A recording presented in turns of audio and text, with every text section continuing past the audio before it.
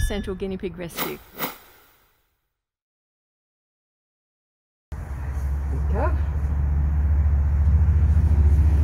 So we have got two little boys that have come to see us for a little health check and I've quickly looked at them just briefly over. They're already bonded with another two boys and this is something that uh, we're covering in a couple of videos for you but um, you can actually bond a number of boys together but you need to be prepared for changes or to things to go wrong.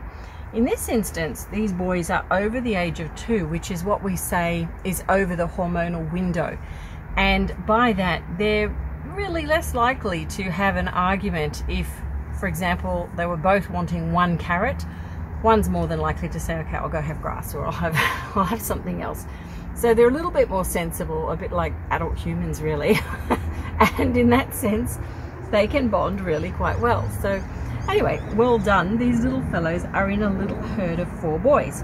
But they've come in for a check and uh, I just wanted to go through a few things on camera that you can observe with piggies like this. So the first is that they've had their hair trimmed at the, the back area, which means that they've had a bit of a long tail bun that's been sitting there and you know there's no harm in cutting that back but when you do cut it back it will regrow.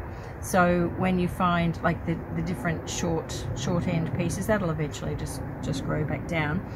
Um, when guinea pigs have been struggling though with food and dietary concerns their hair is really quite dry and in really severe cases that you know you'll have seen in other rescues not with these boys they're, they're just lovely but with other rescues it's almost brittle. It's almost like it will break in two. And when guinea pigs are full health their coat is really soft to touch really lovely a bit like you'd want your own hair to be. So they're sort of factors that we look at when we, we talk about hair. Oh, you're talking to me what's his name s'mores S'mores. So this is S'mores. What a cute name. S'mores. Let's have a look at you. So he's actually really good. You've taken excellent care of him. And you got him a month ago, is that right? Yeah. Yeah. Um, he's gained about 200 grams in weight, which is fantastic. And, uh, you know, a guinea pig gaining weight is always better than a guinea pig losing weight so we don't want to see that. There's some question about their eyesight, which we're going to investigate a little bit.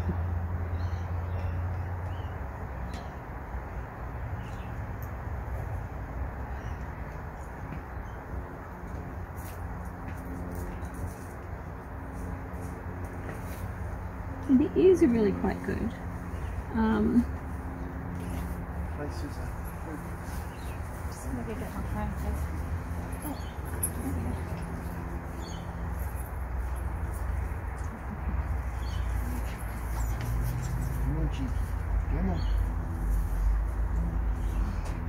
Just want some attention from me. yeah, have you put any Ivomec on them? Yeah. Yeah, good. I'll probably do that again, I think. I did it when I first got them. Okay, did it what just once? Or Twice, twice? twice. yeah. I'd probably do it again now because I can see um, just some hair starting to come away and we find with with um, piggies when their immunity is down particularly as they age they've, they've got less of an immunity and they don't last as long with the Ivomec treatment. So they've been through a lot. They're gaining weight. They're looking really good. I would actually do it again now because it's been a month. Yeah. So rather than relying on their immunity I just do that now. So there's a little bit that's come off there. Just there's a bit. Just first signs of hair coming away with um, skin at the end. Hello. Yeah, so I'd nip it in the bud early, all. Let's have a look underneath.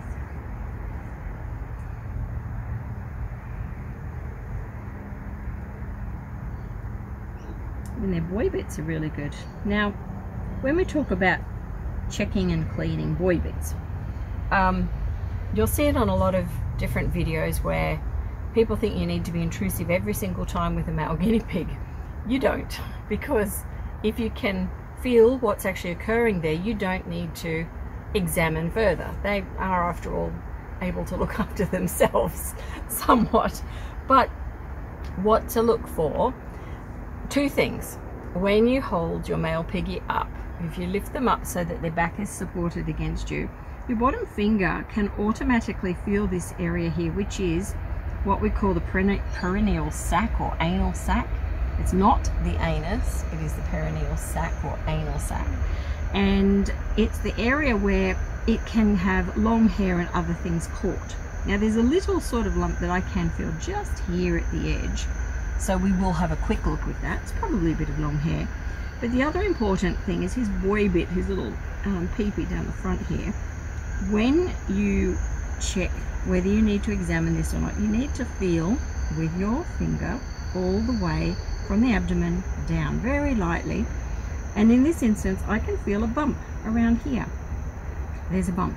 So when there's a difference in the texture and there is a bit of a bump or um, change to that smooth area, then you need to investigate further. So that's what we're going to do. Uh, let me just pop some gloves on. Can I give them back to you for a moment? I think it's awful how people constantly poke and prod male guinea pigs, but it also stresses people that are thinking of having guinea pigs as pets if they've got to do that to a guinea pig all the time. I mean, who wants to do that with their pet? Seriously. no. no, you don't. So knowing when to do it is really the key. But yes, you do need to be aware they've got areas down there, but you don't do it all the time. So, and if they're being housed well, kept well, it's very rare. It's when you do their nails once every six weeks, you check whether you need to go further than that. Thanks. Is, um, you know, to be seen. Let's put a little towel here. All right. Just going to get you to lie here. And the first thing we're going to do is just have a look at his little boy bit. Now to do that, you need to press down on the area above and around and you'll see it will come out. There we are. And when it does, we can take a careful look at what's going on. And there we go. There's that lump that I can feel. Can you see it there? It's all that smegma. We can just take that off with a little cotton tip. Just some water in that. So we can just take that off. It's only just started. It's just caught up around the edge there. And before it becomes a problem and starts to build up, we can just remove it. So that's the only thing. Nothing further. Good. That's it. Hey, no, good boy. And then we can put that away. We don't need to go any further. Now, this little lump that's down here, again, to check the anal sac, we just move it open a little bit, then we can start to see it, and there it is right there. With the other end, I'm just going to lift that out. It's usually very stinky. And my guess is long hair, which, if you look at it, is long hair. so he's um, just been collecting a little bit of that. In that area, we just literally wipe that away, like this. That's all we need to do. It's the tiniest little bit. Now, little boy bit. We can put that back. There we go. All good. so very painless and not too invasive at all, which is um, a really good thing. All right. So he is good. He gets full marks. Ooh, he has sharp nails. Does he? Um, oh, oh, thank you, Dad. Do you?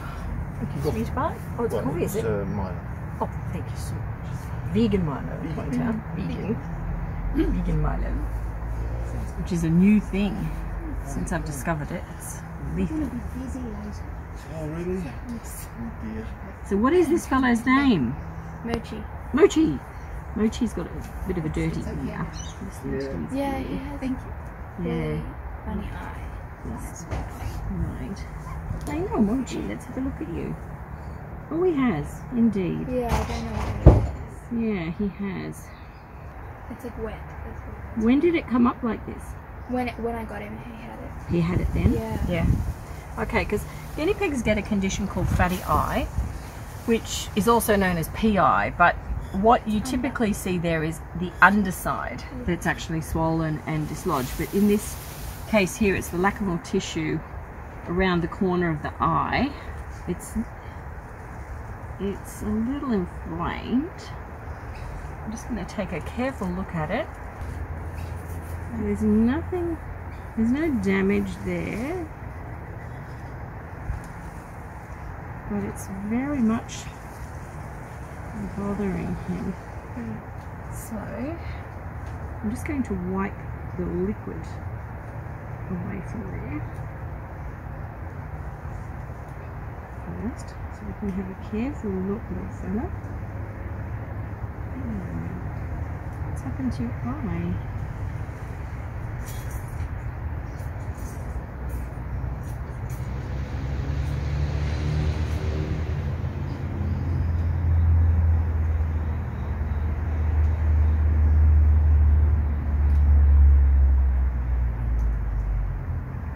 Just checking we have no ingrown eyelashes which can occur. There isn't.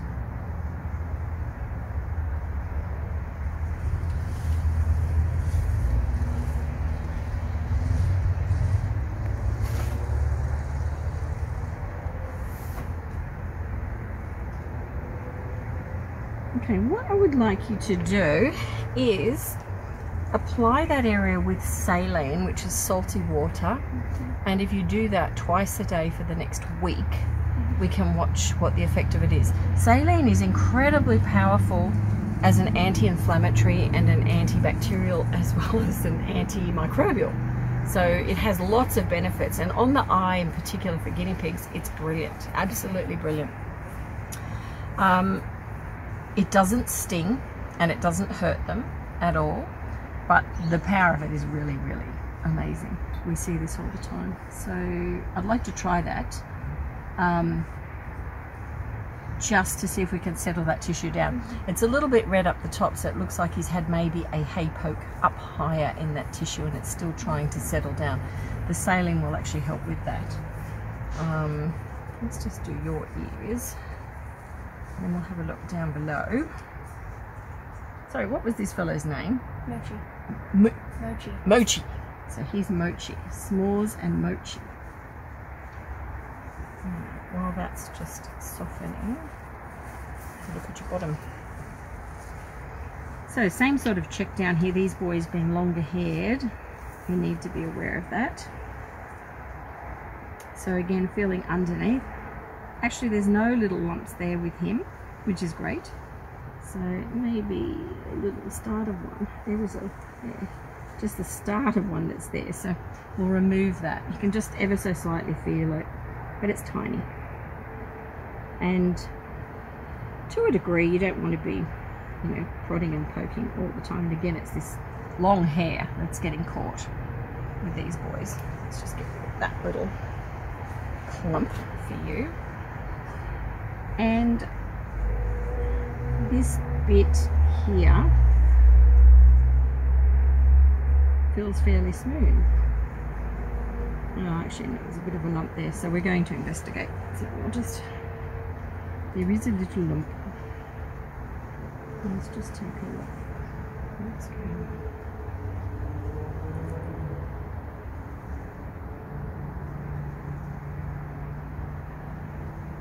on? It says nothing obvious there. Nothing obvious. Oh, I think it might have been more around the dirt that's here. This up on the outside. But that's good. So, you guy, let me take this off.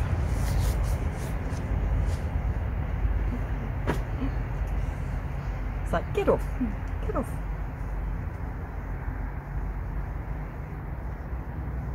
Let's get this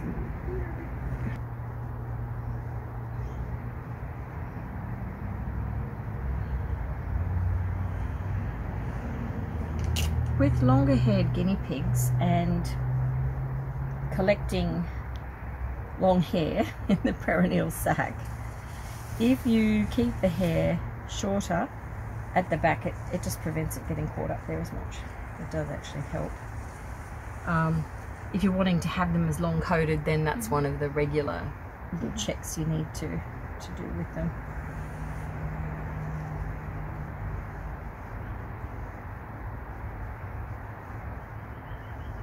There we go. All right, so when we shorten their hair, shorten their coats, this one's had quite a bit cut off. You can see the scissoring lines, but scissoring it here at this bottom point, I'm going to show you, just keeping it shorter here, this is the bit that actually gets caught up in that area. So if you just cut that shorter at that level, then it stops it getting caught. Every time they shuffle backwards and forwards, it doesn't get caught in that area as much. So it's just a small little thing that, that helps with their maintenance. So his eye, we're going to get some saline. We'll put some on here. Yeah, I'm very happy that that's what will actually do the trick.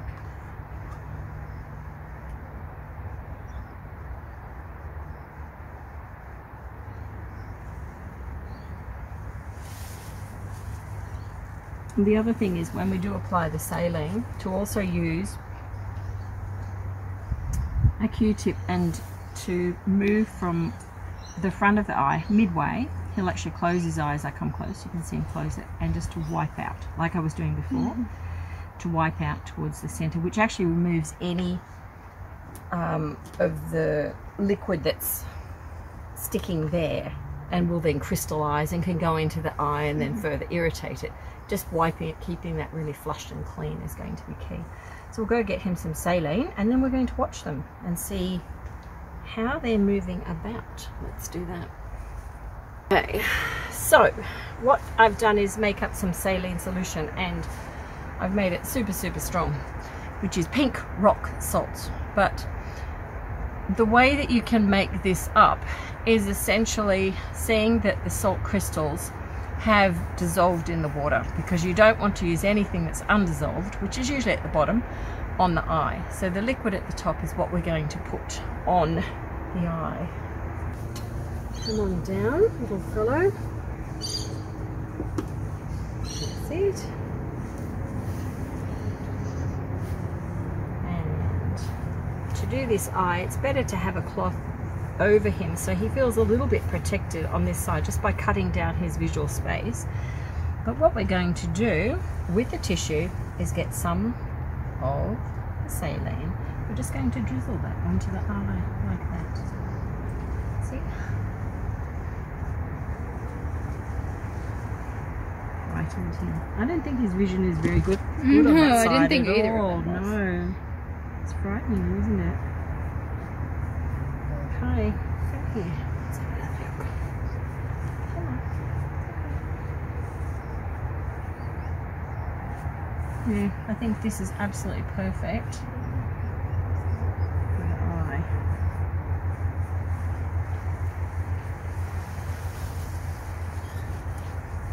So just dropping little bits there, but I'm holding that upper lid to make sure it drops onto the lacrimal tissue. And then just gently rubbing both sides of the eye, we know it's actually getting removed. To finish, again, just a little bit of saline on the end of a Q-tip and just to wipe forward with any residue. We're going to leave the bulk of that in the eye. That's it. If you do that twice a day just for the next five days, mm -hmm. we'll see if that settles it right down. Okay? Mm -hmm. All right. Let's go and watch them.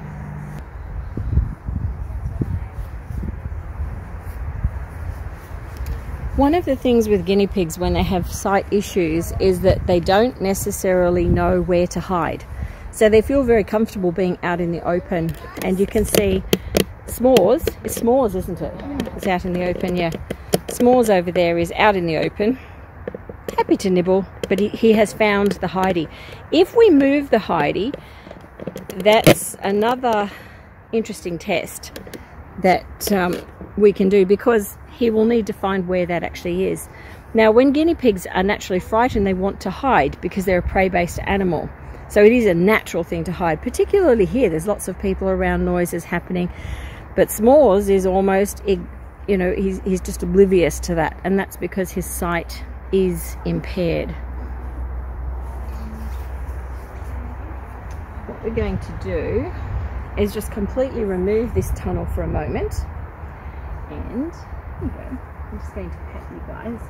So you go in different directions. This little fellow over here, he actually has impaired sight in one eye. It's the injured eye and it's very much um, a problem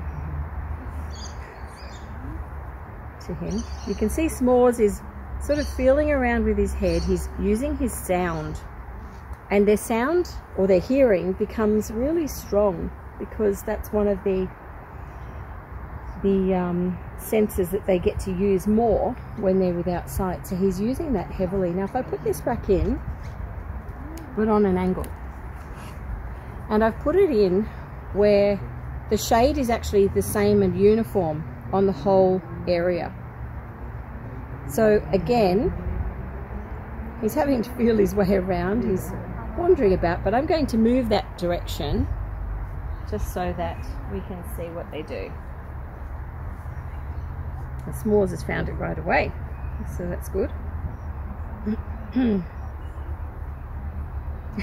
this zigzag pattern they're using though is really typical of sight issues in guinea pigs. No. do that. Let's see what you do. Hmm. You can't see that it's a tunnel this time. so it's confused him. they can actually, they also get um, to be able to feel heat and cool temperatures very well in terms of sunlight and shade, which is another way that they find out if they're hidden or not is simply by the warmth that they feel on their body. The sounds of other guinea pigs being around. And these are some of the features to look for.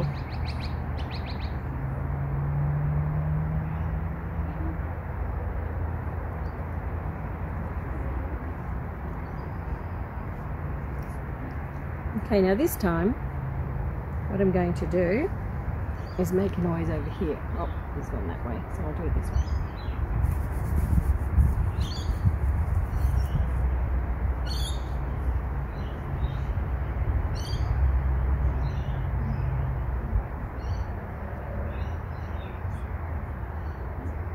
You can see he picked up the sound. he's found the outside of the tunnel and he's then gone in. Hmm. I don't think he's fully blind. No, I think he's no. He's got no. Well, he the S'mores has definitely got sight issues in both eyes. he can see light and dark, but his vision is not great. But the other fellow, he's got it in one eye. His other eye is fine. Yeah. He's got really good vision. Another way that you can tell that is that he'll lead with that eye whenever he's if if you come into the room or if you're doing something with them, that's the eye that they can focus from because they'll put the eye that they can see from towards you. And that's what he's doing.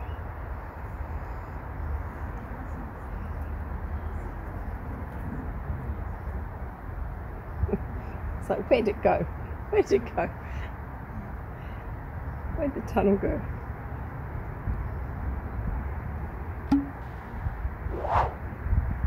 Okay.